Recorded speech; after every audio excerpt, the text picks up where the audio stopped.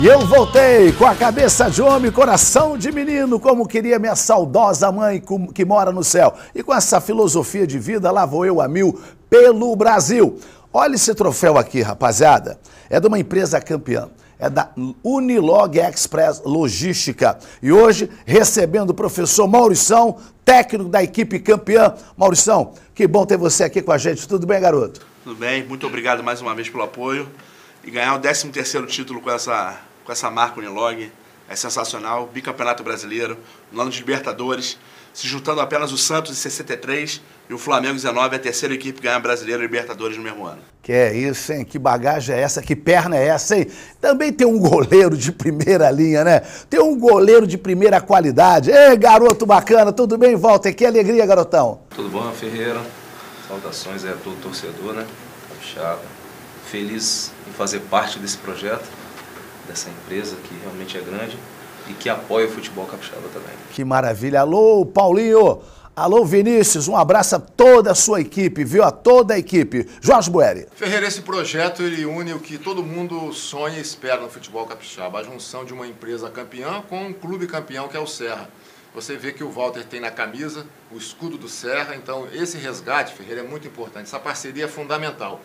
Quando viemos fazer o programa, eu já perguntei para o Walter. Walter, vai encerrar a carreira, é verdade mesmo? O que, que você me respondeu, Walter? Daqui a 10 anos. Daqui a 10 anos. Mas também então, com a cara de bebê aí, ó. É. Então a notícia é essa, Ferreira, né? A pauta é essa. Walter continua e vai disputar o Capixabão de 2020. Que maravilha, é isso mesmo, Walter? Sim, sim. A gente já, tá, já tem alguns outros projetos em mente. Terminando já curso de educação física, uhum. né? formando, graças a Deus.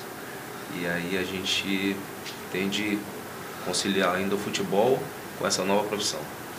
Quero falar agora com muito orgulho e satisfação do Banestes, o Banco do Estado do Espírito Santo. Hoje em dia a pergunta que eu mais escuto é como? Tipo, como eu arrumo dinheiro para isso? Eu respondo, Banestes. A segunda, como faz? Procure o Banestes, o Banco do Estado do Espírito Santo. Pessoal, hoje em dia a pergunta que a gente mais escuta é como? Como abrir um novo negócio? Como dar entrada em um apartamento? Trocar de carro, gente? Como? Parece complicado, né? Mas não é. O Banestes tem as melhores soluções de crédito para você. Aqui tem empréstimo para veículo, para imóveis e até empréstimo no app. E ainda tem empréstimo consignado pra gente crescer junto. Precisa de crédito? Banestes, digital quando você quiser.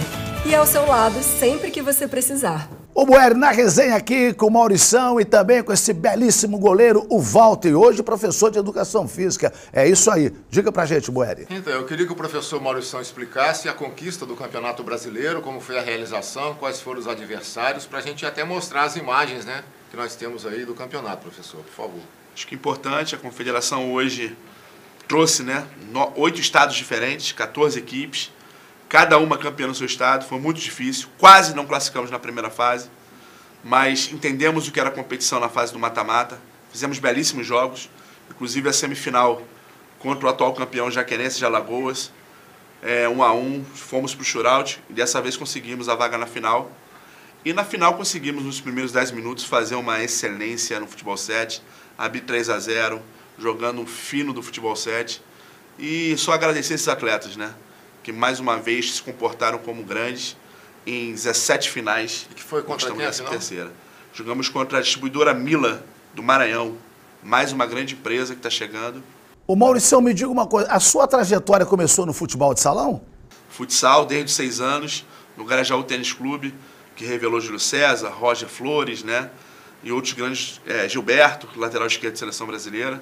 E aí passei pelo Flamengo Futsal, Flamengo Futsal Vasco Futsal, Palmeiras de Goiás, algumas ligas nacionais, até ser fisgado pelo futebol sério. Pelo seu sotaque, você é carioca. Você é da, da Tijuca? Sou do Carioca, sou da Zona Norte, sou da Água Santa, né, do Rio de Janeiro. E estou aqui desde 2013. Amo o Espírito Santo. Mas infelizmente não é só glórias. Hoje encerra meu contrato e a gente corre o risco da Unilog estar tá encerrando a, as atividades para o ano que vem, Ferreira. Oh, Se não tiver Deus. apoiadores, a gente sabe que é muito custoso, né? Mas a gente está falando de 300 mil anuais, anuais. Então, de repente, para uma empresa capixaba, 20 mil por mês não é nada.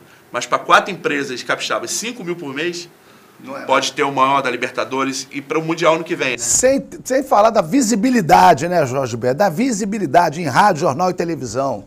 Ferreira, projetos campeão, campeões têm que ser mantidos. Né? Acho que a direção do clube, né, da associação da Unilog, tem que fazer esse esforço, fazer contatos, porque sozinho não adianta. É o que eu falo do Vitória. Quando aqueles 15 notáveis se cansarem, quando as famílias cobrarem a dedicação exagerada ao clube, o Vitória vai ter problema. Então, tem que ter uma autossuficiência para continuar vencendo. Olha, eu vou falar uma coisa aqui que poucas pessoas sabem.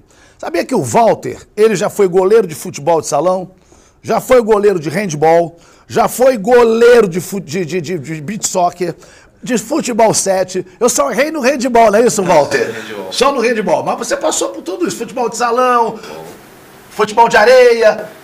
Areia não. Nem tanto? Não. Você começou aonde, Walter? Na base e na ERT. Na base e na ERT. E depois, fala um pouquinho da sua trajetória. Comecei na base com a, na ERT, professor Marcelo, treinador de goleiro Erasmo, formador. Depois a gente foi para a desportiva, profissionalizou. Graças a Deus deu sequência e a gente foi sendo campeão dos clubes capixaba. Qual a sua idade? Hoje eu tenho 35 anos. Oh, dá para jogar até os 48. Eu cobri a desportiva na época Verdade. com o finado Rubens Neves né, e outros repórteres mais. E a gente falava assim, é aquele garoto ali, o Walter, ó, parece o Edalmo, aquele Edalmo que foi o, um dos goleiros, maiores goleiros da desportiva, e o Walter evoluiu. A sua época, quem é que jogava com você, Walter? Era você, Dirley, mais quem? Quando eu cheguei, estava saindo Dirley e Merivaldo. Merivaldo, é. Aí, Luiz Carlos, né? Peguei jogando contra. É, mas quando a gente chegou na desportiva mesmo, a base era Murilo, que jogavam, e Giovanni. Né? Você... Esse Giovanni agora, Perino? Não, Giovanni Machado. Machado. Um negão também, Isso que era promessa junto sim, com o Andrezinho. Depois teve um tempo que não conseguiu mais dar sequência e, e parou. Mas... O, o, professor Maurício, eu estou vendo o, o, ele falar aqui com uma tranquilidade, mas quando tá jogando o rapaz reclama, vamos, chega junto e vai bola, aquele mansinho, Jorge Bueri, que eu vou te... É isso, professor? É isso, graças a Deus, né? Olha lá, tá rindo nessa cana. A gente fala que tem muito leão de treino e gatinho de jogo. Aqui é o contrário, é gato normal e na hora do jogo é tudo leão. Beleza. Na sua pelada, Ferreira, tem aquele cara que fora da, da, do jogo é uma dama. Quando começa a pelada, a pessoa se transforma. É impressionante, cara. Dá vontade de sair na porrada com esse tipo de cara. Agora não tem. Qual é o cara que joga pelada? Qual é a pelada que não tem. Um cara não xinga o outro? Então não é pelada. Mas tem uns que exageram. Né? É, não, mas tem uns que não, não, não dá para aguentar, não. É, é, é, melhor até dar um carrinho sem bola do que ficar xingando. É né? Paulinho Paixão. Paulinho Paixão, quando te pergunta, Paulinho, professor de educação física, você trabalhou com ele, Wagner? Trabalhou com ele? Sim. Paulinho Paixão era o seguinte, Paulinho, não, rapaz, olha, se eu encher muito meu saco, eu dou carrinho sem bola, hein? dou carrinho sem bola. Hein? Pepe gosta da resenha, né? Olha, Paulinho Paixão é uma das pessoas mais queridas. Eu até brinco o seguinte: quem não conhecer Paulinho Paixão em Vila Velha, nunca olhou o convento da Penha. Tamanha representatividade que esse garoto tem lá, uma figura humana excepcional. Estou falando besteira? Não. Jorge Boeri, mais um toque de bola aí com a rapaziada. Então, eu queria saber do Walter ainda quais são os planos dele para 2020. Já tem proposta de clube do futebol é, capixaba para o estadual 2020, hein, Walter? Então, a gente terminou o ano com o Serra, né? E creio eu que a gente deve estar retornando ao clube. Se não retornar, a gente vai dar sequência ao futebol 7 que é onde eu creio que vai crescer, já, já é pelo, através do Serra Unilog, já somos bastante conhecidos né, nessa modalidade, atual campeão brasileiro, bicampeão brasileiro, e hoje a gente tem esse a cabeça já bem tranquila em relação ao, ao futebol, né? A gente espera, na verdade, é, a gente está aberto né, as propostas. Eu tenho sim uma conversa com alguns, alguns do Serra não sei se isso se concretiza, está voltando ao clube. Né? Se voltar, a gente agradece mais uma vez a oportunidade. A próxima vez que a gente for entrevistar o Walter, vamos entrevistar o Walter perto da baliza de gol e no interior da pequena área, porque aí ele, aí ele fala à vontade, fica bem mais descontraído e tal, porque ele é muito educado. É porque ele é muito educado, é porque ele é muito educado. Muito bem. Pô, se o Walter, se o Walter é mansinho assim, então eu devo, eu devo ser muito mal educado, porque eu falo pra caramba também, né? Muito bem, eu quero agradecer muito Serra Unilog Express Logística, deixar meu abraço pro Vinícius, pro Paulo, tomar a Deus que 2020 possam fazer grandes parcerias e continuar dando sequência a esse belíssimo trabalho de vocês. Agora eu quero deixar para você aqui, professor Maurição, Feliz Natal, um 2020, acima de tudo, de muita, muita saúde. Hoje a gente tem que desejar aos amigos saúde, meu amigo. Forte abraço, muito obrigado pela participação. Muito obrigado mais uma vez, Ferreira, e a todos do programa, por incentivar o Futebol 7. A gente precisa disso. Nós não, como eu digo sempre, a gente não vai lá para competir, a gente vai para ganhar as competições.